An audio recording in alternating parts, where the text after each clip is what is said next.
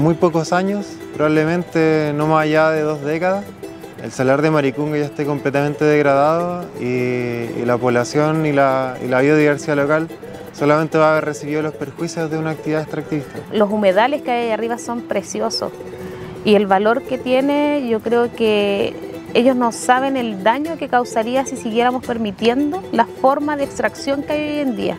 La amenaza del litio viene de hace muchos años atrás y lamentablemente en estos últimos dos años se ha empezado a trabajar firmemente en eh, la prospección de, la extracción del litio en la zona norte del Salar de Maricunga. Queremos cuidar estos lugares eh, porque son maravillosos y hay mucha vida. Eh, no queremos decir no a una actividad económica, queremos decir sí a crecer y a desarrollarnos de forma sustentable para el futuro y nuestras generaciones.